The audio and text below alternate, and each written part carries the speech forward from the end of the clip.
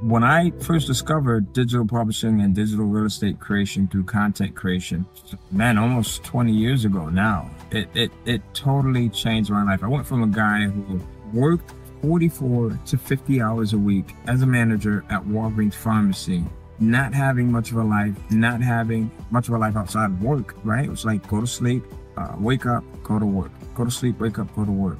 To a guy who now has the ability to spend as much time uh, in his days as he wants, doing whatever he wants, waking up, planning my day in the way that I want to do it instead of letting someone else dictate what happens in my life. And if you're open to, and, and again, I use the word open because not everyone's open. Like it, it's so disappointing sometimes when you share information like this and people just don't accept it.